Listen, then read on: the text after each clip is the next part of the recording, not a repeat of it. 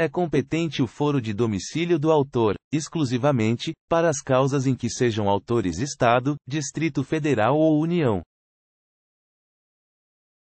Analisando a questão, você responde: verdadeiro ou falso? O gabarito é falso. Artigo 51. É competente o foro de domicílio do réu para as causas em que seja autora a União. Artigo 52. É competente o foro de domicílio do réu para as causas em que seja autor Estado ou o Distrito Federal.